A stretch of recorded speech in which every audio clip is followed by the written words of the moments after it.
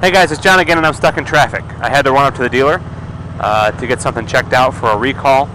And uh, since I'm stuck in traffic, I thought I'd talk about slowing down, specifically engine braking.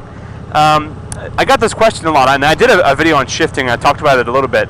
I got that question a lot though about engine braking and should you engine brake, and I've actually seen it on forums too. People debating whether or not engine braking is a good idea.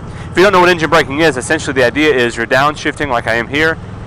We let the clutch out and we let the engine kind of slow us down a little bit. I can downshift all the way down to first, give it some throttle. Right? So the idea is that we use the engine to help us slow down. The engine drives the rear wheel.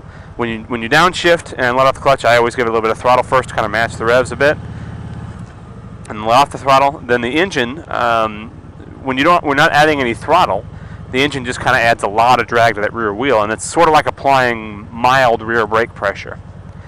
Uh, so the debate kind of is whether or not it's a good idea. Um, my answer to this one is real quick, uh, just like I did in. All right, take the whole lane. Uh, just like I did in in uh, the comments section when people asked about it. Uh, and that's that's not a bad idea. There's nothing at all wrong with it. I mean, I guess technically you might add a little bit of clutch wear, but I don't think you'll add that much, if any, because engine braking is, is a lot less force on the clutch and the transmission and the engine than accelerating is. Which also goes on beyond there. People say, well, I don't engine brake because it wears out the transmission. I mean, it's a lot less uh, stress and pressure on the engine and on the transmission and everything else than just accelerating hard is. So uh, I, I, don't buy that one. Um, however, I do buy that it's 1000% unnecessary. You're not really saving your brakes that much. Brakes are cheap and brakes are easy to replace. I'm not sure why everyone is so afraid of, of changing brake pads. So many techniques about preserving brake pads. You know, alternating so they don't get too hot, and alternating between your two brakes so they don't get too too hot and wear out faster, and and engine braking and and all these other things to prevent wearing out brake pads.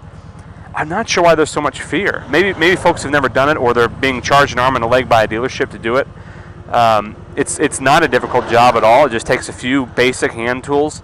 If you've got a socket set, a uh, some sort of a clamp, and a pair of pliers, then you can change your brakes, and it's not complicated. I would also, uh, while you're at it, go ahead and flush your brake fluid, which can be done with a box wrench uh, and some silicone tubing at the very least. Or for 30 to 50 bucks on Amazon, you can buy yourself a vacuum pump and uh, make the uh, job even easier. So it's not a complicated job, and pads aren't very expensive. So I'm not one to be so worried about wearing out my brake pads. I check them often and I use them as they're intended to be used. I would much rather have the linear control of brakes and how well I can uh, control the bike at low speeds and at a stop uh, than the engine. And uh, so for me personally, I don't do a lot of engine braking. Another thing I hear often is, well, I want to use all the braking I can and that assumes that the engine is like some sort of third wheel. My back, if I didn't have ABS, my back brake would be easily capable of locking up my rear tire. Easily capable. I don't know any bike that isn't because of the simple physics that as your bike uh, decelerates, the weight of the bike uh, kind of rolls forward on the front axle and comes off of the rear wheel.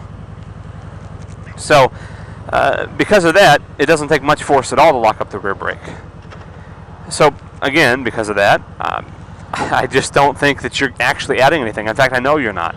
Your rear brake can do everything engine braking can do with, with more linear uh, and more uh, distinct control over engine braking. And engine braking while using the rear brake doesn't brake you any more than just using more rear brake.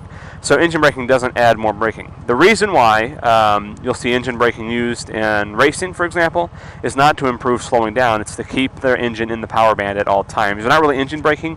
They're just keeping the engine RPMs up. Now that said, that said, staying in the correct gear at all times is essential. And one of the best ways to do that is engine braking. Even if you're not doing it to actually slow down, uh, downshifting through the gears is the best way to know that you're always in the correct gear. Now, when you get a few thousand miles on a bike and you have experience with it, uh, you'll begin to know at what speeds or what it feels like uh, to downshift correctly. And you can hold the clutch in and downshift if that's your style. I don't think there's any advantage or disadvantage to one or the other. Again, I don't think engine braking is necessary, and I don't think it slows you down faster. I, am positive it doesn't slow you down faster, uh, like some folks think. But, like I said, it doesn't hurt anything, and it helps you keep stay in the right gear. So for that reason, I do suggest it to a lot of, a lot of riders. Excuse me there. Now, for me, you'll have to watch through my videos. What you'll probably see, if you really paid attention to my riding when I'm chatting with you guys, is you probably see a mix, right? I'm, uh, I'm quite confident you do. You probably see some engine braking, and quite frequently when I'm just coming to a stop at a stoplight, what you probably more frequently see from me, that you'll see here in just a minute, is you'll see me start to apply the brakes, pull the clutch in, and start downshifting. You notice I'm not going past third now because I know from my own experience with this bike that that's the correct gear. And now I'm in second gear and then I let off the clutch, add a little bit of throttle, and I take off. I'm in the correct gear. And that just comes with experience, and every bike is different. In my own personal practice, I never ever downshift into first gear unless I have the clutch out. Just because first gear is so low on most bikes that it, you know, is kind of quite a bit of a jump up in RPMs. Uh, rev matching, though, uh, is one way that can be helpful, and, and rev matching is what I do when I engine brake. And what I'll do uh, is kind of do it a little bit here. And rev matching, basically, I'm going to go down to third gear, so I'll pull the clutch and I'll add a little bit of throttle, downshift, and, and then let out the clutch. And that prevents that kind of very harsh kind of, you know, shove forward uh, that, that will happen and can happen. Oh, great, a school bus. Cool, I didn't want to get home today. Anyway, they can happen um, when you're engine braking hard. So, guys, I am not going to put you through the horrors of sitting in school bus traffic. Uh, I, I love you all way too much for that. And I am not going to be like many motovloggers who decide to sit in traffic uh, and talk to you like that's what you want to see. So I will talk to you guys later. I just wanted to throw those couple of thoughts out there because I was bored. Just a couple of thoughts about engine braking and whether or not it's necessary. I am curious to hear your comments below, kind of what you do, what, what is your practice, and if you have any questions. So uh, hopefully I threw that in there. I did have some question about downshifting, um, and I mean it really isn't something that, that takes a whole video. I mean, that's just it. You know, give it a little bit of throttle to smooth things out, lower the gear, and start letting out the clutch like you would when you're taking off.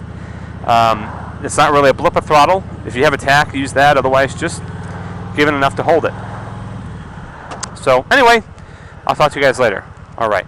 Bye bye. God bless.